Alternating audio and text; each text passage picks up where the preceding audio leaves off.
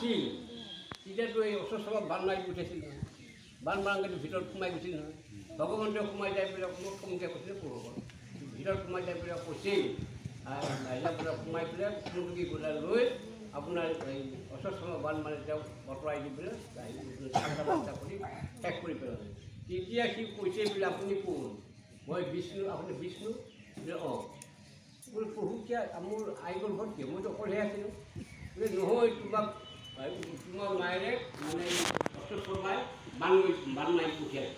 এইবাৰে তোমাৰ মায়ে যে মৰিল নহয় তুমি মৰিলা কিন্তু যিহেতুকে তোমাৰ মায়ে মোক নাম মোৰ নাম ল'লে ভক্তি কৰিলে সেইটো আৰ্তভক্তি তাৰ প্ৰতি আৰ্তভক্তি তাৰমানে বিপদ আৰ্তভক্তি কৰাৰ লগে লগে মই ৰক্ষা কৰি তোমাৰ মায়ে সোমাই গ'লোঁ অঁ তেতিয়াহ'লে ঠিক আছে আপোনাকে মই ইয়াত আই গৰ্ভৱে যেতিয়া এই পুখুৰীটোৱে যেতিয়া বৃহৎ খাবলৈ পৰি যাম পৃথিৱীত যেতিয়া আহিম আপোনাকে খুৱাম আপোনাৰ নাম ল'ম আপোনাক কৰ্ম কৰিম আপোনাৰ আপোনাকে ভক্তি কৰিম আজি কিয় পাহৰিলোঁ মই পাকটো ঘূৰাই দিওঁতে পাহৰি গ'লো পাকটো যেতিয়া তাকেতো না পাকটো দেখিলে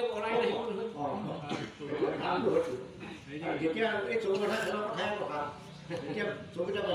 ঘূৰাই দিব দিশটো হেৰাই যায় গতিকে আমাৰ ঠিক তেনেধৰণে প্ৰকৃতি বায়ু যেতিয়া ঘূৰাই দিলে ভিতৰত তেতিয়াতো আৰু ভ্ৰম হ'ল তেতিয়া জন্ম হৈ আমি কেতিয়া হ'ল কিয় হোৱা ইয়াত ৰাজা হ'ল ৰাজা হৈ গ'লো আমি গতিকে বাকীবিলাক পাহৰি আছে ইয়াত এখন পৃথিৱী হ'ল হ'ল মায়া এখন পৃথিৱী হ'ল মায়া মায়া মায়া পোৱাৰ লগে লগে গৰ্ভতাৰ কথাটো পাহৰি গতিকে সেইকাৰণে পাছৰ নামটোহে পৰিছিল প্ৰথম নামটো হ'ল বিষ্ণুৰাজ আমাৰ আমাৰ সকলোৰে আই সকলো আমাৰো সকলোৰে আমি আই গৰ্ভকে বাঢ়ি গৈছোঁ গৰ্ভত আছোঁ সেই গৰ্ভত বাঢ়ি হোৱাৰ কাৰণে আমাৰ প্ৰথম নামটো আছিল কি বিষ্ণুৰাজ আমাৰ আৰু এটা কথা এতিয়া আপুনি ক'লে যে বৰ্মা হেৰি আমাৰ হেৰি আছে কটন আছে।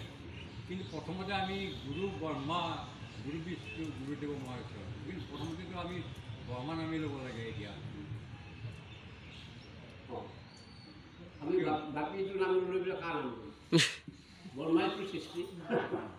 বৰ্মা সৃষ্টিখন নহয় বাকী কি নাম লৈ পেলাই কাৰ নাম ল'ম সেইকাৰণে গুৰু ব্ৰহ্মা গুৰু বিষ্ণু গুৰু মহেশ্বৰ। নহয় জানো বস্তুটো একেটাই কিন্তু আমাৰ এটা পৰিচয় কোনটো আমাৰ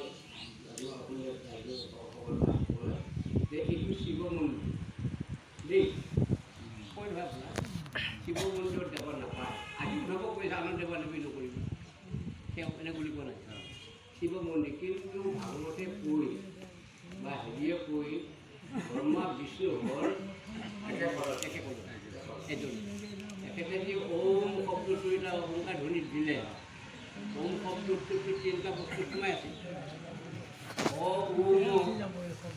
ব্ৰহ্মা বিষ্ণু আৰু শিৱ মহেশ্বৰ একে নাৰায়ণে সৃষ্টি কৰিলে ব্ৰহ্মা ব্ৰহ্মাই সৃষ্টি কৰিলে শিৱ বস্তুটো একেটাই নহয় জানো গতিকে ইয়াতো ভিতৰত মই সিদিনা আগত কৈ আছোঁ যদি আপোনাৰ আপোনালোকে হেৰি এই কিবা বোলে শিৱ নামটো ধৰি দি আপোনালোকে হেৰি ভক্তিটো বিবিচাৰ হ'ব বুলি কৈ কেনেকৈ ইয়াত থকা ইয়াত শিৱটো নাই যিটো আমাৰ জ্ঞান জ্ঞানৰ যিটো শক্তি আমাৰ যিটো জ্ঞান আছে সেইটো শিৱ বন্তি গছ নজ্বলালে আপোনাৰ বন্তি গছ আমাৰ ভাগত পঢ়া নহ'ব।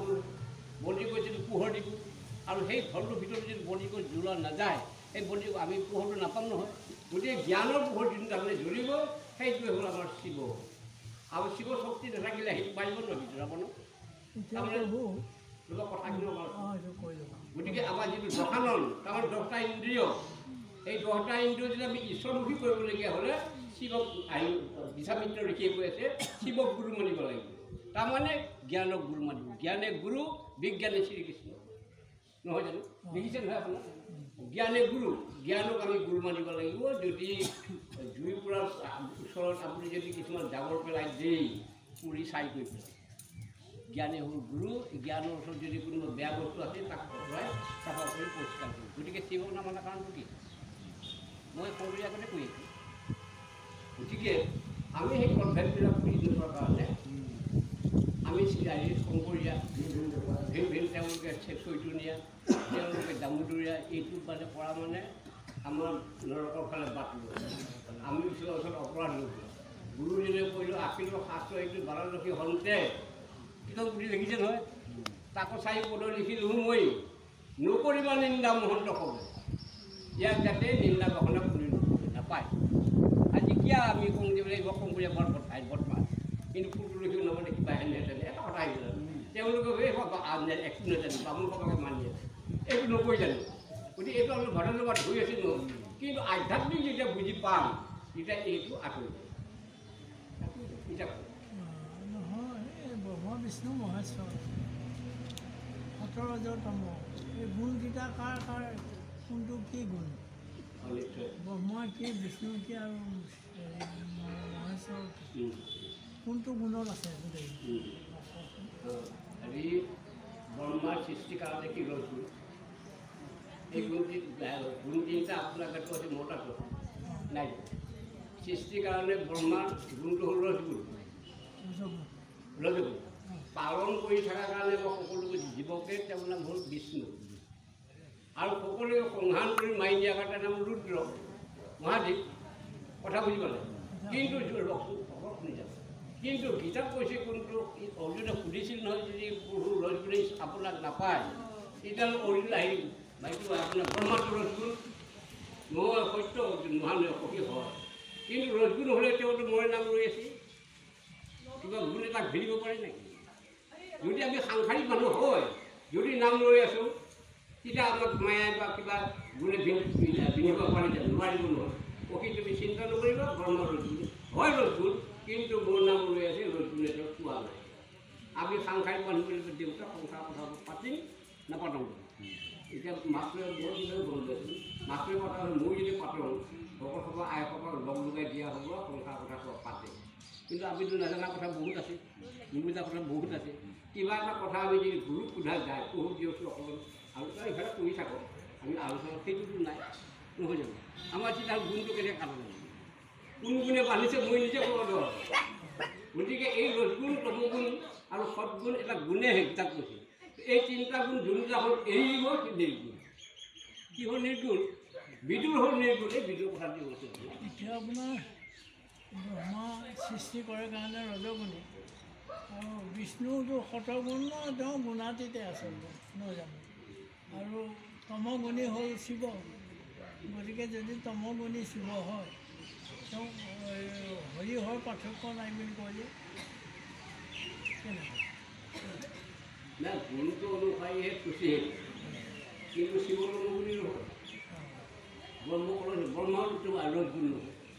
কিন্তু সৃষ্টিখন চলাবৰ কাৰণে আমি তিনিটা বস্তু এটাই কিন্তু চলাব লাগিব আজি সকামটো আজি আমাৰ গুৰুজনে পূজা দিছে নালাগিব।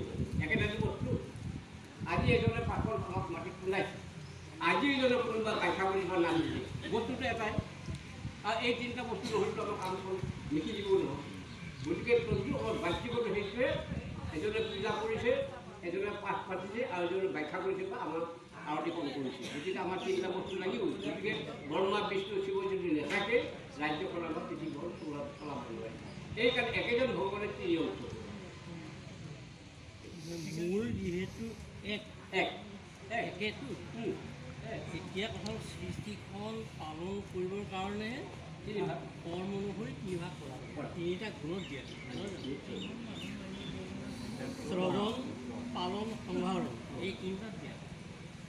নিজেকে এটা করাতে আমি যদি এজনকেই যদি মানো কারণ গীতাত কৈছে যে সর্বধর্ম পরিত্যাজ্য মাম একং শরণং ব্রত অহং তাং সর্বপাপে ভূমুক্ষামি মা সুস্থ